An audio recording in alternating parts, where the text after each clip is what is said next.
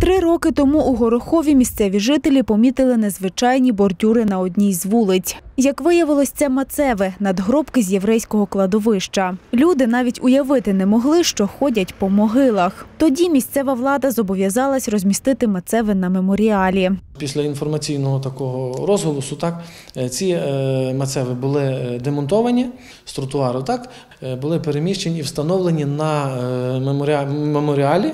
Меморіал в Горохові створили на місці, де колись історично було єврейське кладовище. Тепер близько 40 мацев знаходяться тут. Такі єврейські надгробки на Волині виявляли вже не раз. Переважно їх використовували у будівництві, хоча є випадки, коли знайдений надгробок слугував і поїлкою для корів. Для євреїв таке ставлення до могил неприпустиме. Це є е, частиною заповіді, оце, що е, е, з повагою відносять до матері і батька свого, даби пр- продовжилися дні життя твого на землі.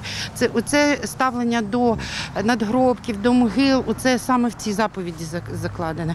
Тому е, іудеї так ставляться до цього і стараються їх, де їх ще знаходять, то перевести на кладовище. От це традиція просто наша така. До Другої світової війни у Горохові з 8 тисяч населення проживало 5 тисяч іудеїв. За свідченнями істориків, під час війни майже всіх їх знищили. Уявіть собі, скільки народу тут жило, і, і ці кожне, ну, які люди вмирали, вони мали надгробок, і десь вони є ті надгробки.